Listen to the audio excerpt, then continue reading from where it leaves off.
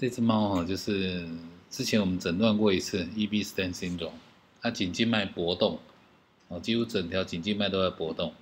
那 EB Sten syndrome 呢，它会伴随着刚刚讲的心内电缺损哦一起发生，然后同时发生肺高压。啊，所以有的有的有的人是直接因为豹猫好发，豹猫有看过吗？大概八九公斤哦，很大只哦。那么它们好发 EB stent syndrome。然后日本那个作者呢，就直接一公斤四个 milligram f o r c e 卖给他，但是我不敢给那么重，我一开始是给一个 milligram 这个 case，然后给给到现在这样子，然后他就在回诊，我叫他每三个月回来给我们看一次。哦，他非常会吃哦，喘，嗯，然后颈静脉搏动的很明显这样子。啊，肝指数很高，ALKP 啦、ALT 啦都高。心内电缺损是。心内膜瓣膜，心内变缺损，然后他心室心房化的结果，他是三尖瓣在心尖的地方，啊，所以整个右心室哦变成右心房，叫心室心房化哦，啊，叫做 EB stent syndrome，哦，就是右心右心室变成右心房，因为它三尖瓣长长在很高的位置，本来在这边嘛，啊，啊，现在长到这边心尖的地方，那这边都叫变成心房。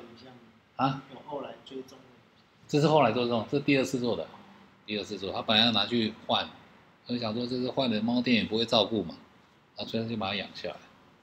它会造成什么状况？心室心房化。心室心房化其实很大，会往会往肺跑。呃，肺部压力大，然后肝也不容易回血。嗯。哎，肝也不容易，所以它右心房压很高。那一除一不让高，但是又没有高的那么高，因为它。那个作者一个日本人直接给他一公斤四个 milligram，但是我不敢这样给我，我我只希望改善那个症状就好了，慢慢加剂掉。他左心会很大，因为你四 milligram 给下去是左心会变小？对啊，没有错。啊，他他这个是 OK 的。你等下看，你等下看，你等下看。啊，这是 PVSVR，我们教你们算那个要会算啊，里面多一个东西可以算。然后这是右心的切面啊，正常的切面呢。不是右心的切面，这是这才是右心的切面，包括这边是入口，对不对？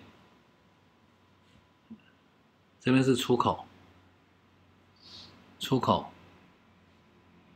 神经瓣逆流啦，啊，这是肺动脉瓣逆流，然后这是看 EI，对不对？看它的 E one E two 哦，E one E two，看一下那个肺动脉瓣逆流，这个 P D P D 的波形就这样嘛，那是不是这样？PDA，会像就是连续的这样子往往上，收缩舒张都是往上这样。然后我给了威尔刚之后，它会变怎样的变化？你说四十五分、四十五分钟之后，对，它有改变会？有的是完全没有变，就还是那样子。对。它如果说可以开它的会是这样，它会变成？它会改善。改善波形会会有什么变化？就是说，就是。就是说，我们碰到肺高压，应该是这样讲。我们碰到肺高压，我我写给你看好了。你这个不能写，因为这是 PDF 档。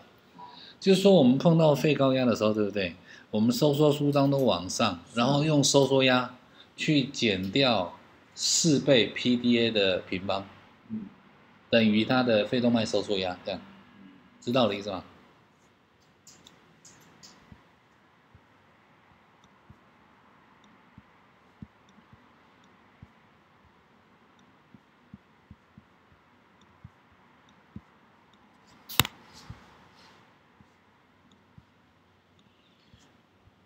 我的意思就是说，肺动脉等于收缩压，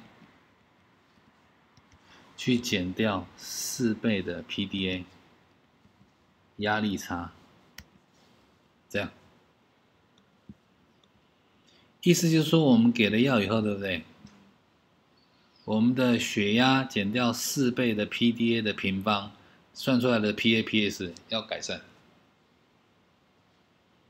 所以我们做 taping echo 的时候，哦，比如说我们没有吃药之前就做一次，算一次啊，然后给了威尔刚四十五分钟之后再算一次，然后再给 Boston 以后对四十五分钟再做一次，这样，你的 PAPS 要显著的改善，对，啊，你如果发现你的 PAPS 都没有因为你做做了几次给药，然后做心超的监控，它有改善，那这个大部分都是原发型的肺高压，是不适合开刀的。所以我们上次有举这个例子。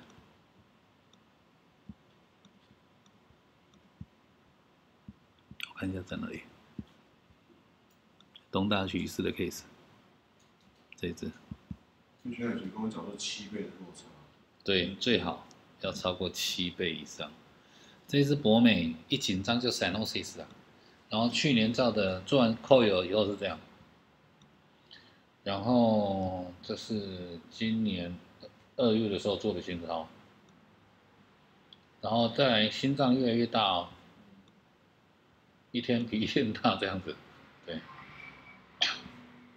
他当然收缩不好。哎嘛，然后他肺高压到六十几，这 case 根本不能开刀。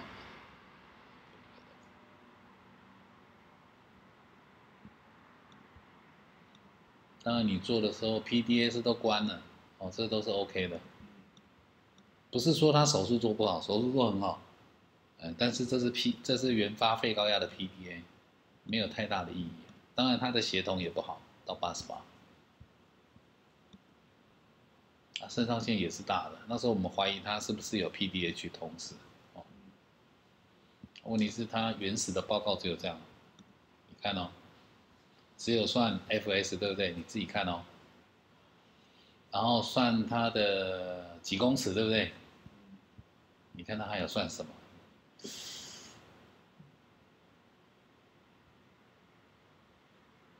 啊，这是算二千半对不对？一波一波速度对不对？结束。它心超就这样，他那边就是 PA 把那个往上力那个收缩起你说这个吗？这个是这是 P 啊？P 啊对，这是 PR，对，这是 PR。谁做的？两只，两只啊。他们没有量化心脏参谋，对，他所有心脏的画面就这样，我都弄给你看，结束。真的要告诉我什么？你知道我的意思吗？对，但他们就是这样。啊，十分钟就做，赶时间。五分钟吧。做那这做这几个画面要十分钟，不用吧？不用啦。要抓抓要五分钟。真的是。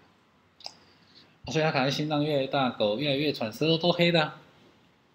做完手术大概快两年，没有意义的手术。所以我会建议你，任何要手术之前一定要做 taping echo，这是标准程序了。对你再来决定你这个刀能动不能动，这样随便花都要花十几万啊。那他当初怎么诊断 PDA？一样啊，很典型的。他没有看到 P，他 PDA 是 OK 啊，他诊断也是 OK 啊，做也是 OK 啊，只是他是有原发肺高压的 PDA 啊，你要去厘清这个部分，不是所有的 PDA 都能开刀，双向的 PDA 不能开。左心依存性的 PDA 不能开，右心依存性的 PDA 也不能开，原发肺高压的 PDA 你也不能开啊。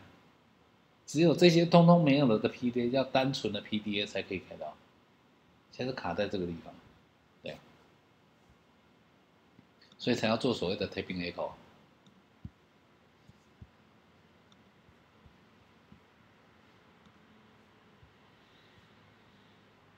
所以你看到这个是纯粹摸字形，这是 PR 而已啦。它肺高压啦，右心的 preload 过高都会出现 PR，对不对？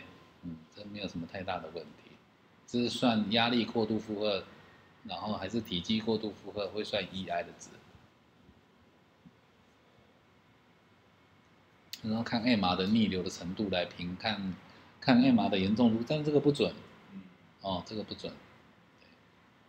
然后这是算右心室、左心室出口的心输出的量，然后因为我们 MR 跟主动脉的拖行有没有，都是在收缩往下嘛，嗯，所以实心的才是左心室出口，虚线的是 MR 这样，哦，它会同时发生的，嗯，会同时这样。然后我们看，你可以做 subcostal。然后去看所谓的 IBC 的变化，对不对？来看它的右心房压，这个可以看。像 IVC 如果很宽带，就是不要再点滴了。对对。那详细我们可以算中央静脉压的速度，中央静脉压了，我们可以用肝静脉跟或呃腔静脉的那个坡形，嗯，还有 diameter 去算一个公式嘛。那准确性还有百分之九十三还九十九，都蛮高的、啊，对啊，这不是问题。好，这是左心的收缩功能评估，这是组织的吧？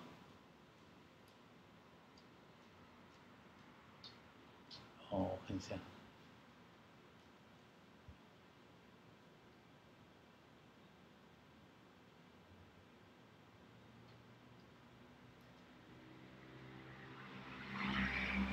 哦，这是看给 p i m o b e n d 啊，跟体重的相关啊，体温、呼吸速率有没有，心跳的相关，跟这些啊参数的改善，还有还有一些钠钾这些的变化。的相关性他那个肝静脉很大，然后不能再点滴，但是他的皮肤拉起来是脱水的状况。对，所以你那时候就很容易产生肺水肿。那那种我那时候是怎么？我们只能皮下给啊，你不能给 IV 啊，不能给太快的意思。是是是。对。好，这是评估舒张功能的方式，哦，这也没有问题。好，再回到这里，然后有时候你们会做 CK 对不对？会做 CK 吗？检查值？生化。然后这个是做 CKMB 啊，但是 CKMB 的意义也不是很大。有时候心脏有心脏病的时候，它是低值；有时候没有心脏病哦，它反而在高值。哦，所以它在受益的应用不大，CKMB 不大，CK 也不大了。你说用 CK 来反映出心脏病有没有？也没什么太大的意义。CKMB 是 CK 的同工酶其中的一种嘛哦。然后它的肝指数一百一，之前更高，这是第二次了哦，这是第二次。阿莫尼亚一一八，然后钙一一六，校正钙乘以零了哈，是七十六点五六这样。它的修正钙十一点六是还可以哦，小于十二嘛。然后，但是他的磷过高了，他的磷过高，所以我担当初担心他有肿瘤的问题啊，啊，因为为什么他磷高这样子？钾四点八哦，有可能跟他新输出新输出不够有关，肾脏灌流量减少也有关。啊，B 温除以 c r e a t i n 是三十点三，哦，阿莫尼亚一一八是血栓，它血栓是确定的哦，血栓血栓，对对。阿莫尼亚的高跟乳酸的高这两个怎么看？血栓都是都是可以判定血栓的。不行，其实我们的乳酸高有没有？是。它是肝肾肿瘤败血啊，对对，这四个。非心因性的、啊，心因性就是心肺跟贫血、是。缺氧有关，这样子而已，不能讲怪，不能讲跟那个血栓有关。不行。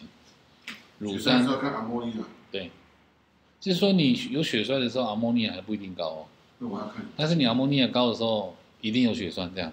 对。那血栓还有什么生化指标，或是说什么可以看？没有吧？血小板会显著的消耗，是。嗯，然如果血小板没有显著消耗，对，因为现在就是说有血栓，阿莫尼亚还不一定高哦。是。对，那阿莫尼亚高的时候是一定有血栓的、是。那血栓前三名就是库逊肿瘤肾衰竭，反而是库逊第一名，要去排除库逊，了解肿瘤肾衰竭这样。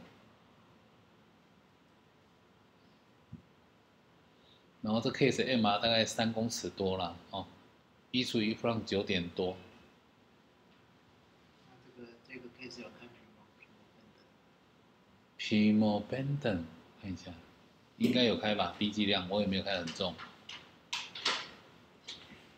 你看到我讲心，你看这边它的右心，你看到这边好像是右心室，对不对？感觉很大，对不对？左心变得小小，左心小小，右心变得很大哦。你看它蓝色的地方在哪里？在很靠近心尖的地方，蓝色哦，知道我的意思吗？所以它整个逆流这样下来啊。然后你看哦，它收缩，收缩往下，你也没看到什么讯号，对不对？嗯，收缩往下你也没看到什么，是它收缩功能是不好的，右心收缩功能是不好的哦哦，因为新是新房化的关系。比较管有开，应该从零点五开始开吧。一点五，我认为它有效就好。对啊，那你会再拉高几量？你看它的 RVPS 才二十，因为收缩不好的关系，好，所以这是伪阴性，它真正是高的啦，它真正是高的，对。ABAI OK，新输出一点二四，BTI 九点多，还没看到后面吧？哎，我们刚刚有看过吗？FS 应该还没看到了。PR 确定是有哦，但那个不严重。FS 又被挡到了吗？三十五点八，三十五点八。你你如果以这里来看，对不对？有点斜那个同向运动，有点同向运动，所以我有给，我没有给的很重，我没有给的很重，我有给。然后这是新市，呃，应该说是三间半，整个往新市跑，所以心房变得很大哦，哦，心房变得很大。这是 EI 协同八十，但是让这两百多都不对了。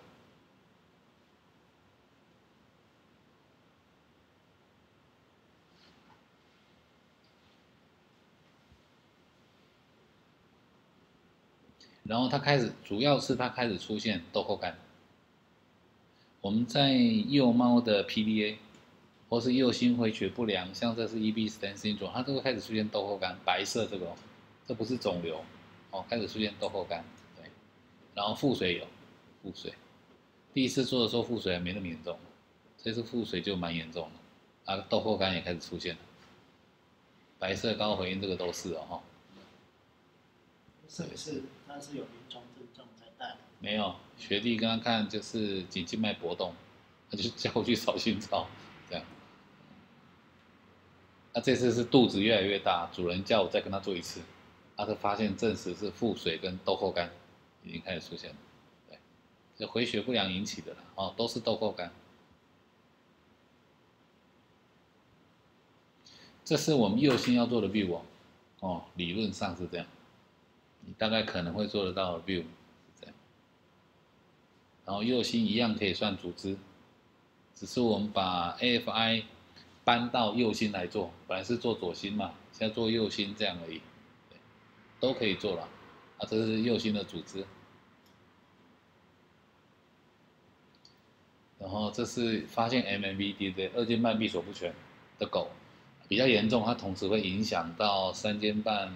逆流影响到肺高压，哦，都是有关，不是只有右心会影响到肺高压，左心也会影响肺高压。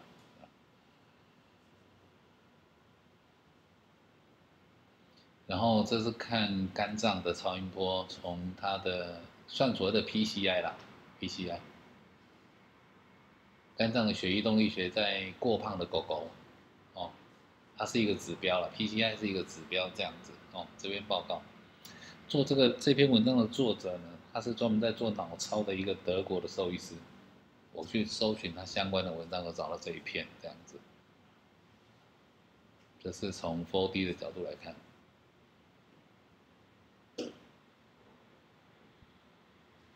你看这边提到哈，呃，继发右心室衰竭，就是后负荷增加，就是肺高压嘛，哦，那前负荷增加就是这边三尖瓣逆流，二尖瓣逆流。卡西诺的 SD、VSD，然后肺静脉回血异常，马了沙了吧？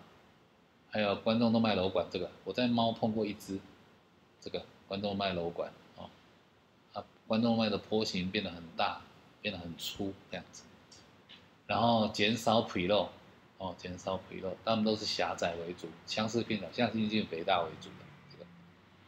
然后再来就是部分心律不整，叫做 ARCN，对不对？嗯，好发在 box 上，ARCN 好发，还有包括梗塞的疾病呢，心肌发炎，sarcoidosis，哦，败血这边事实上都会影响。这是右心衰竭的原因呐，哦，原从原因去分析，哦，原因去分析，或者我们只看到这个，啊，对不对？肺高啊高一点、低一点，pre 高一点、低一点这样而已，看它背后可能的原因，然后分级，右心有右心的分级，我们左心、右心分级都跟你们讲完了，啊。我们通常结构有异常，不管他有没有症状，就开始吃药。哦，我个人主张是 B one 就开始吃，那兽医一般是主张 B two 开始吃，有的连 B two 也不吃，对他们从 C 才开始吃，对。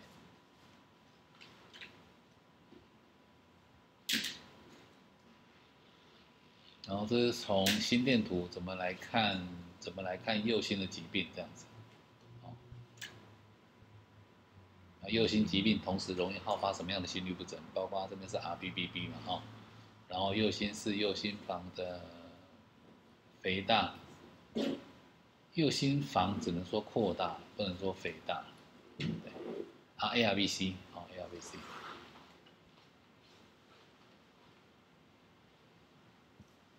这是 EI，看右心的压力体积过度负荷的。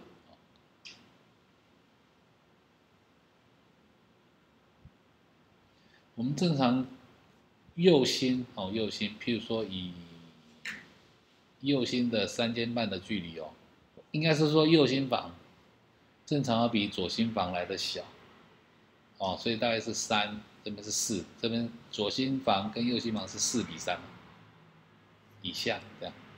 那你如果发现右心房比左心房来的大，那就表示右心房压是高的哦，右心房压是高，这时候点滴就不能给太多。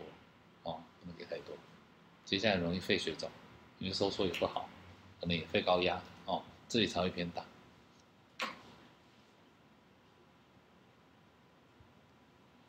那当然都是正常画面的正常值在这边哦，这都人的啦，收益没有办法做这么细。你除以体表面积以后，都都不会差太多，这里，哦，除以体表面积不会差。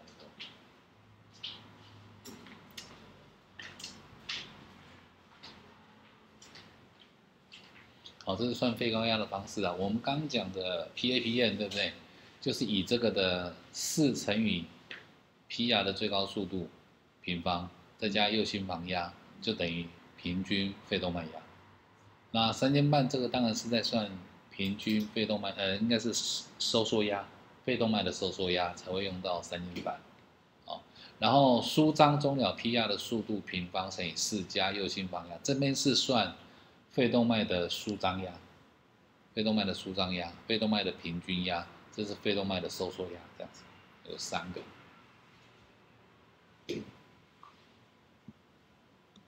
然后这边是算收缩平均舒张压的方式哦。然后当然还有一些其他的啦，不止。你看哦，M A M P A P，我们刚刚讲的嘛，四倍 P 压最高速度的平方加右心房压，这个是一个。然后他们也可以用七十九去减掉括号零点四五乘以加速时间，所以你看加速时间今天如果越短，就是我们的肺动脉的坡形有没有越笔直哦，越笔直你花掉时间就越短嘛。你减一个越小的东西，表示你平均肺高压一定是越高，所以越直的那个大部分都是肺高压啊，那跟它的加速时间变短有关系。然后你看它另外一组公式也是啊，九十去减掉零点六二乘以 AT 哦，小于一百二的时候，然后平均肺动脉压等于零点六一乘以，有时候你没有没有 PR，那你就会用零点六一去乘以肺动脉收缩压，因为它有 PR，它没有 PR 的时候，你可以这样来算哦。那当然你如果有收缩有舒张，你也可以来算平均。跟血压的算法一样，这样，哦，所以这个这里可以记一下，当你没有 PR，你要算平均肺动脉压去算所谓的 PVRI 的时候，对不对？那这时候你就用到这个公式乘以零点六一，这样，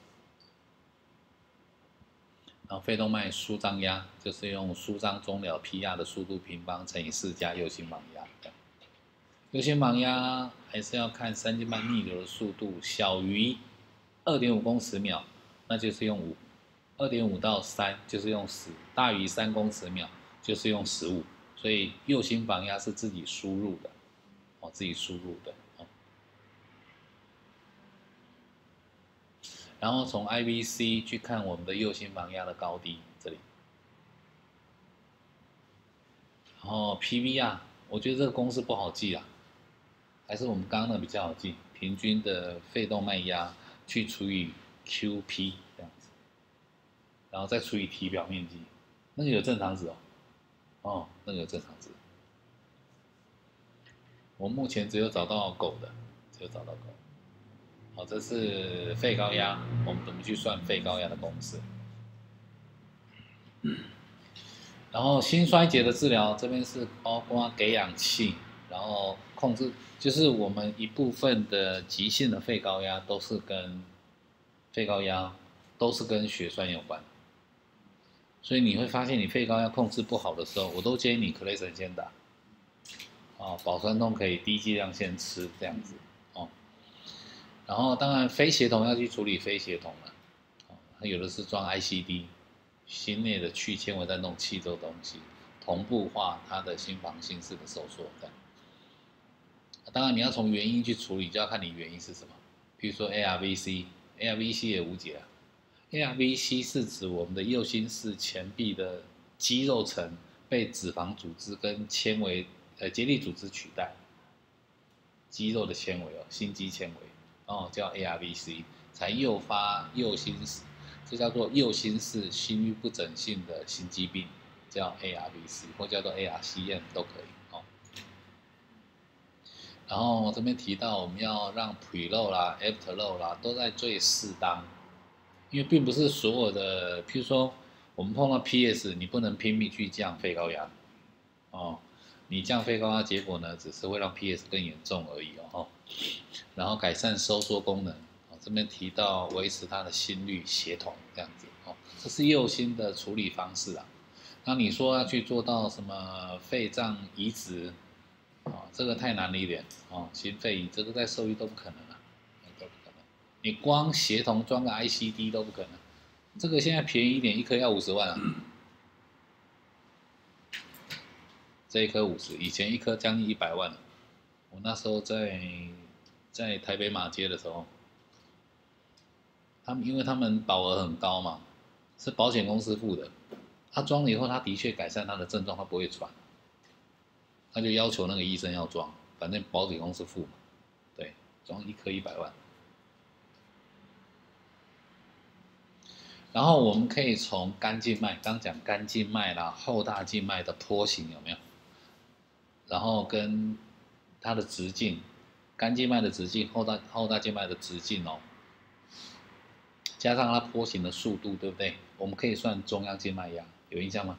以前有一组公式，JVECG 他们丢出来的哦。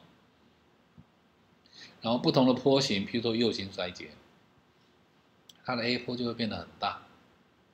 哦，S 波、D 波是正常到偏小，会出现一个 V V 或是 V prong 波这样子，就表示右心衰竭，就是我们的右心房压是高的哦，就是右心收缩不好的意思。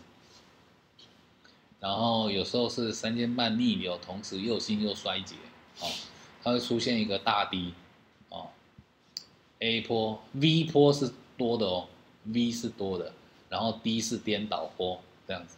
那就是三尖瓣逆流，同时右心室衰竭这样子，然后一部分会变成融合坡，它融这边都融在一起，然后低坡再成导坡，哦，否则它是三向坡，没有 V 的话哦，它是三向坡，哦，主要举例子给你看，低不但颠倒，而且变得很大。然后这个就是我之前跟你们谈的，我们不能单独看 TAPS，三三尖瓣在收缩的摆动幅度哦哦，它跟我们的肺高压有关，意思就是说你收缩功能不好，然后是因为肺高压的关系哦，啊，所以你要去改善肺高压，收缩就会改善，哦，收缩就会改善哦。啊，这边是做肺动脉收缩压跟 TAPS 的关系哦。他们的相关公式在这边呢，这边都有公式。你看这边提到存活跟没有存活的嘛，然后这边是正常的跟异常的 TAPS 哦，它的相关性不一样哦。呃，公式都在这边，公式都在这边，正常是这样，异常是这样。啊，所以右心肠道的收缩功能就是这几个，看 S p r o n 的速度。FAC 刚刚讲的 IMP，IMP 是等张舒张期加等张收缩期乘以，呃除以我们的分母是右心室的射出时间，哦叫 RIMP，跟 LIMP 这个东西，哦。应该可以讲一下 S 光。S 光就在这里啊，这里越高越越越低，越高，越低，速度越低，它正常要十到十二公分秒。嗯，啊，你如果显著低于八公分秒以下，有的书写十公分秒以下，表示它的收缩不好。那采样点在这边，三间半以上零点五公分之内，这样。嗯，以上零点五公分之内采样，你也不能踩在这边呢。哦，你踩在这边，你通常都是伪阳性比较多，阳性比较多，这边摆动幅度一定是最大。这敏感性很高。哎，蛮高的，蛮高的。就这个应该是 TAPS。哦不，这是看 E prong 哎 S prong 的速度，还有算所谓的 RMP。RMP 可以从组织来算哦，哦，可以从组织来算。啊，这才是 TAPS 啊，收缩的摆动幅度，这里到这里，好，收缩的摆动幅度。那当然它是跟肺高压有关，代表右心的收缩功能不好。这个，这是这样算的，这里到这里收缩的摆动幅度。叫 TAPSE，三间半。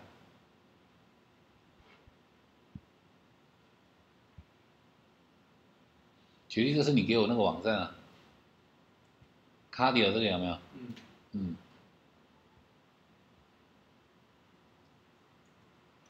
哦，这是标示而已，这是要做的画面。哦，这边是常用的啦。哦，包括 FAC、TAPS，还有包括 RMP，然后 S prime 的速度这样子，大概八公分秒以下就算有异常哦。如果要看 S prong 的，这是 FAC，三十二以下异常，TAPS 越低越不好哦，但这都跟体表面积有关，跟大小有关了。就好像我们体重会去影响到我们的 FS，这是左心，那体重一样会去影响到 TAPS，这是右心，这样子。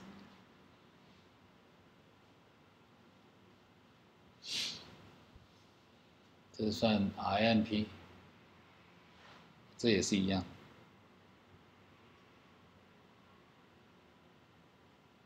好，这是 DPDT，就是压力对时间的微分哦。哦，来看我们的 TR 的严重度，哦，TR 的严重度，这是 4D，然后这是有一些心肌梗塞哦哈的表征，要看动态的，静态看不出来。然后这是舒张功能不好，左心右心都会有，然后右心房压高，哦，一样会去影响到坡形，坡形。这是 V 坡、A 坡、S 坡、D 坡这样子。那你可以运用在 Two D Strain AFI 应用在右心，一样看 Pixie Solid Strain。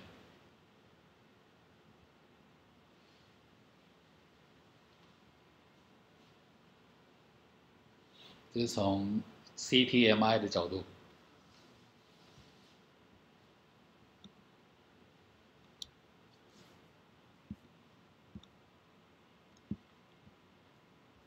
所以 ARVC 在豹猫蛮多的嘞，哦，肿瘤啦、心包积液啦，我们在豹猫都画过。